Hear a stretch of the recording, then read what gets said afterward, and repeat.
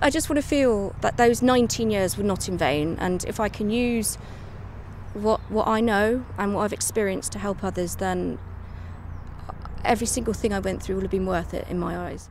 After that abuse, which started as a young child, Victoria Spry just wanted to stop others suffering in the same way. She worked with social services to help them spot the signs of abuse.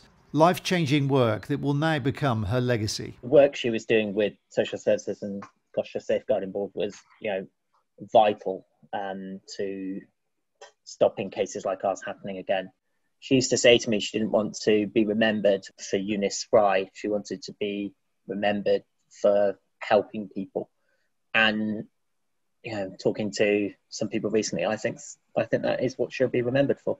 Joanna Nicolas heard Victoria speak on many occasions. Her story was difficult to hear, but it made a huge impact. I've been in rooms with her with 200 people, utterly spellbound by what Victoria said. She had the most incredible power because she just spoke so beautifully and so powerfully, but never ever with any sort of anger or feeling sorry for herself, which is extraordinary.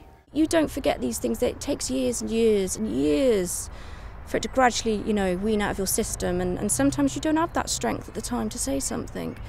And um, I want to I wanna help those people and, and be that voice and bang on tables to get help for them if I have to. An inquest into Victoria's death, which isn't being treated as suspicious, is expected to be opened later this week. For now, her loss will be felt not just by family and friends, but by those survivors she never met, but undoubtedly helped. Steve Knibbs, BBC Points West.